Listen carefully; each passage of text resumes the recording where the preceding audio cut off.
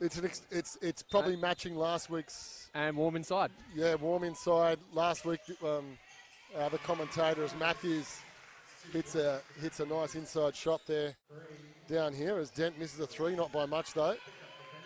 Penrith going the other way. Oh, great run, And and that's Jefferson again, or against Um, Pedina. active hands from Penrith. Well, oh, good run again by Yeah. Jefferson.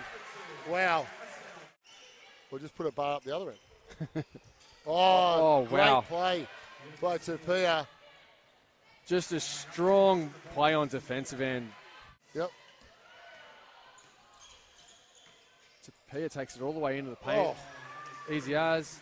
Could have got a call there, but didn't. And back to working again. oh, good back cut. Tupaea again.